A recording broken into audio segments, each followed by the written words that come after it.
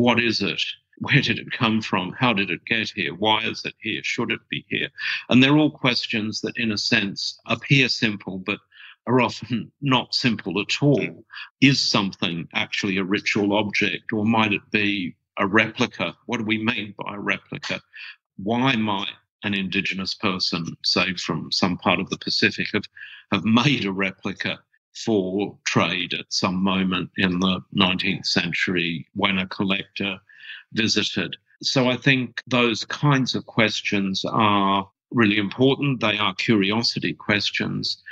And I think they help us hone a skill, which is being curious. That skill is quite critical in a heterogeneous and dangerous world, a world in which you really need to keep asking, you know, what else is there?